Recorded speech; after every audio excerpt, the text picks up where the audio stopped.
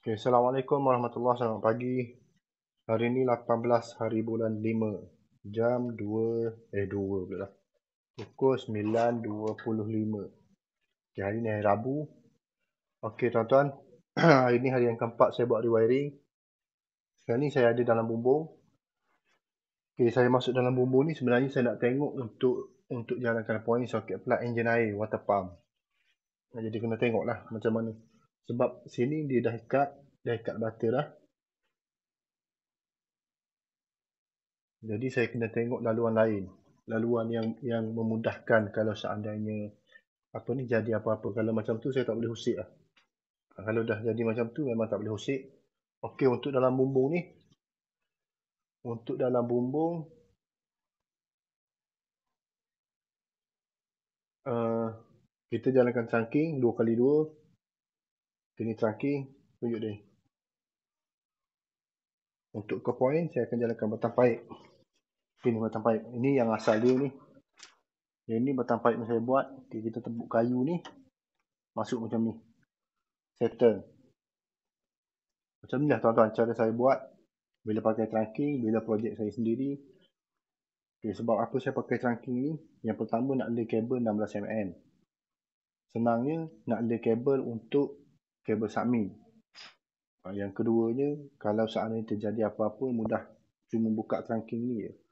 Nak tambah point ke, nak buat apa-apa penambahan ke. Jadi trunking ni, kalau seandainya satu masa nak buat rewiring balik, nak buat rewiring balik. Jadi point ni boleh pakai balik. Apa yang saya buat ni boleh pakai balik. Tak ada nak keluar kos banyak. Cuma tukar wiring je.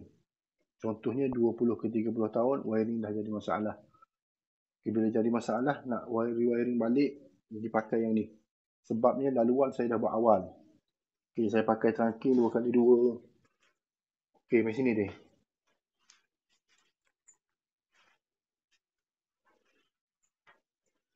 Okey, yang ni ke DB.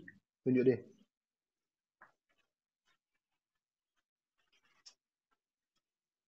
Okey, yang ni ke DB. Yang ni ke soket plug. Okay, yang ni soket pula. Dia nanti kat lagi eh. Kat sikit lagi, dia ada begitu. Boleh eh? Okay, semua dalam ni saya pakai yang fleksibel yang yang tahan panas, warna hitam. Okay, yang tu yang tu akan pergi ke DB, main DB. Casing tu jangan buat gitu deh. Eh tak? Dia buat lagi tu. Buat kena kerak lagi tu ujung tu. Kena kena kerak lagi tu. Kena potong lagi tu sebenarnya. Sebabnya uh, trunking dua kali tiga tak masuk lagi. Tak apa dah tu tengok lagi mana. Tebuk tengah gitu kabel dia okay, dia tak apa tengok sana okay, yang asal dia macam yang asal dia ni ni lah. Yang asal dia. Saya tak saya tak nak komen yang asal. Sebabnya point ada banyak lagi yang saya tak tarik. Semua dalam trunking. Semua dalam trunking dah mudah. Dalam tangki ni kelebihan dia satu. Kelebihan dia kalau seandainya ada short, kita nak cari kabel, apa lagi, nak buat penambahan, uh, lepas tu kabel tak cepat panas, uh, itulah kelebihan dia pakai trunking. Kelemahan dia, cost. Cost tinggi. Bila pakai trunking ni, cost dia tinggi. Sebab yang pertama, trunking ni harga dah dah RM18 satu. Tidak termasuk lagi dengan kos upah bukan main pasang macam tu je dia ada kos upah dia untuk satu batang berapa ringgit. Tengok pada electrician masing-masing lah. Kebiasaannya kalau macam saya saya akan letak sekali lamsam untuk trunking ni. Cuma trunking ni yang leceh ni satu je nak pasang dia itu je.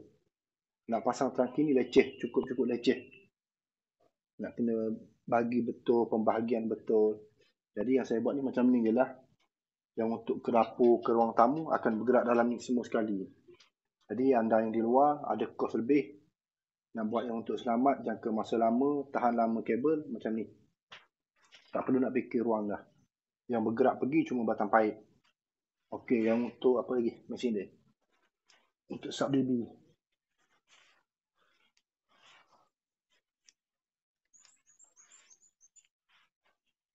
Okey, untuk sub DB sini.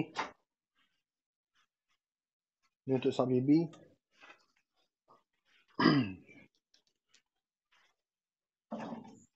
Okay, untuk sub DB ni, dia nanti pipe semua gerak ke spin ni eh. Okay, pipe semua akan bergerak pada tepi. Kita buka atas tu.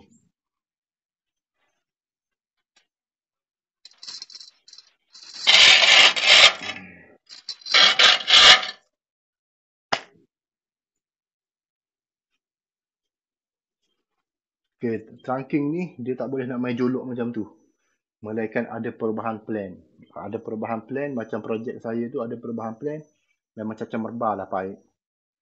Okay, jadi yang ni saya akan masuk sebelah. Nah ni. Jadi point yang mana mari dia. Yang mana mari pada sub DB ni. Tebuk main female. Bentuk masuk gini. Boleh eh? Okay, inilah untuk untuk sub DB. Uh, ah, lepas tu untuk main DB. Main DB dah settle. Cuma lay kabel submin je belum lagi. Lay kabel submin 16mm. Susah tuan-tuan. Di Kelantan ni 16mm. Selepas raya ni susah. Saya pun tak tahu kenapa. Jadi saya pun nak sambung kerja. Untuk saya kena buat yang rumit dulu. Luar. Batang pipe luar apa semua sekali. Jadi tuan-tuan. Uh, untuk daripada masa ke semasa saya akan upgrade lah.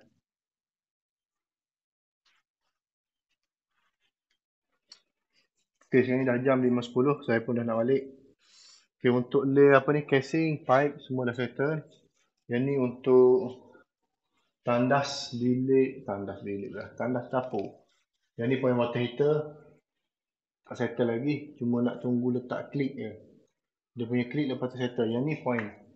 Macam ni saya tebuk. Tebuk tak pecah. Sama juga yang ni. Macam yang ni saya tak tebuk lubang dia lah. Ha, teman-teman tengok ha, ni. Kebanyakan owner dia tak nak tebuk jadi macam ni. Merosakkan dinding. Jadi tak semat. Ha, dia jadi macam ni. Ni tebuk tak apa ni? Tebuk tak tak apa ni tak tahu teknik. Serta kurang ilmu. Lebih kurang macam tu je lah. Saya bukan nak kata orang lain. Tapi saya dulu sebelum ni macam ni lah saya buat. Tapi sekarang ni tak dah. Tengok yang ni. Yang ni pun sama tak ada nak pecah. Bukan saya nak selindung daripada box ni. Tapi memang tak pecah. Kalau saya buka pun memang tak pecah yang ni. Okey, yang ni akan jalan ke apa ni? Ke lampu luar. Lampu luar 3 biji. Lepas tu kita tengok untuk dekat main DB. Okey, ni heavy duty socket plug. Heavy duty socket plug ni dia pakai 4mm. Majority dapur 4mm. Majority lah untuk dapur 4mm. Yang ni saya dah tebuk. Tengok tuan-tuan saya tebuk. Tak pecah. Tak ada pecah ke sebelah. Zoom dia. Boleh zoom tak? Okay, tengok sini. Ada pun pecah. Okey. Jadi yang ni. Semua akan jalan kabel 4mm. Uh, ni untuk. Uh, apa benda ni? Uh, ini ada di 2.5 dia. Ha, ni 2.5. Soket plug. Yang ni untuk soket plug. Jadi, soket plug untuk ni. Untuk mesin basuh. Lepas tu, dia akan pergi, dia akan turun daripada sini. Sini untuk switch lampu luar. Dia akan naik ke atas. Naik ke atas, dia akan pergi pada lampu pertama, lampu kedua, lampu tandas, serta dengan lampu luar. Yang ni circuit lain serta phase lain. Yang ni 4mm phase lain. Yang ni untuk heavy duty, heavy duty tapi dia pakai satu socket plug je. Okay, yang lain tak ada dah. Cuma besok insyaAllah boleh lay kabel dah. Yang tu saya kena pasang casing. Uh, satu inci setengah. Lepas tu sebut ke atas. Lay kabel semua sekali. Kita tengok main DB. Okay, ni main DB. Main DB yang ni yellow. Red. Blue. Okay, tiga blue. Empat blue sekali dengan atas. Red berapa ni okay, red okay, red tiga. Tiga circuit yellow tiga circuit okay, ni tak cukup lagi ni. Untuk aircon ada lagi. Aircon water heater yang ni tiga, tiga, tiga. Maksud dah complete. Untuk soket plug ni dah complete. Uh, untuk lampu saya tak tarik lagi. Jadi settle untuk soket ni kita tengok kat luar. Hmm. Okay, yang ni untuk soket luar. Soket luar dia looping dengan soket dalam. Eh, soket dalam pula dah. Dia looping. Ah, betul lah dengan soket dalam lah. Aduh. Macam ni. Tebuk tak pecah. Tidak sekali-kali pecah. Kalau tahu teknik, tahu cara, insyaAllah tak pecah. Jadi kita tengok untuk water pump. Okay, ni untuk water pump. Water pump satu circuit ya. Water pump satu circuit, kita jalan macam ni. Tunjuk dia. Kita pergi naik ke atas. Jadi situ saya tak boleh pergi. Sebab anak beranak dia ramai. Saya malu buat video. tak ada tuan-tuan saya tak pergi dah sebelah sana. Tak nak ganggu. Jadi untuk lampu ni saya kali. Ini point lampu. Ini water pump. Water pump ni saya akan suggest kepada owner untuk pakai apa ni uh, dia punya casing. Casing casing heavy duty luar punya tu. Kalau letak terdedah macam ni tak boleh. Dia bahaya. Jadi settle lah tuan-tuan. Uh, duduk luar ambil angin. Jadi saya pun nak balik. Kerja dah settle.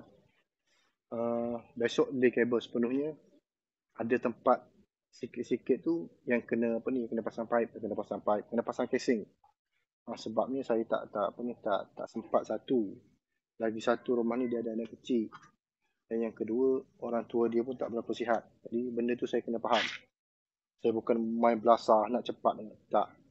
Bukan main belasah janji siap. Ha, tu tak tak hiraukan orang lain itu salah. Jadi tuan-tuan pendawaian saya ni pendawaian full spec three phase untuk pendawai ni saya buat three phase. Ada yang tanya saya uh, kenapa pakai meter single phase tapi pendawai buat three phase. Lah apa masalah dia? Tak ada masalah pun. Yang penting jangan pakai main switch three phase. Main switch RCCB three phase jangan pakai. Stay dengan single phase. Saya akan link kabel three phase. Cuma pakai di pakai main switch RCCB single phase. Saya buat macam ni untuk long term. Owner pun minta macam tu untuk long term dia akan upgrade kepada three phase. Jadi bila upgrade kepada three phase, Itulah cara dia, kena faham.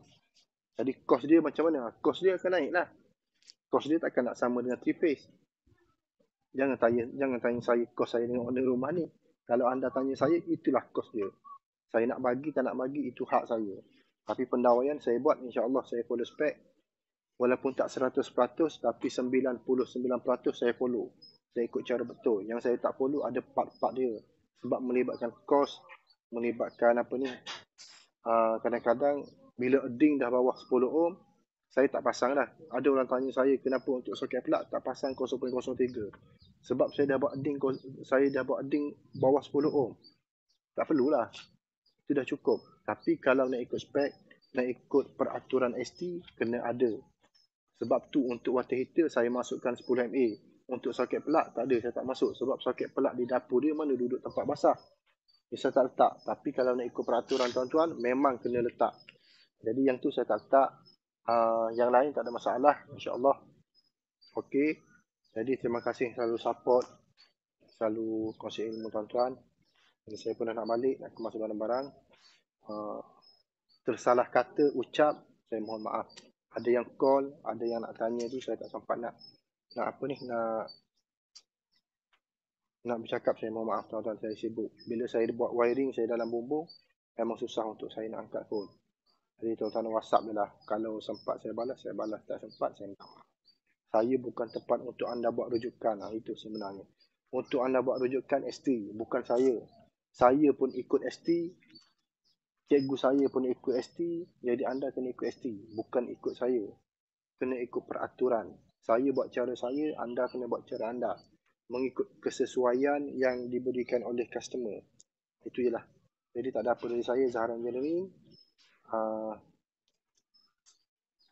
InsyaAllah besok kita akan sambung lagi. Semoga sihat. Uh, tak ada apa dah. Ni baik ni akak dia. Baik ni akak. Tak ada apa tuan-tuan. Assalamualaikum warahmatullahi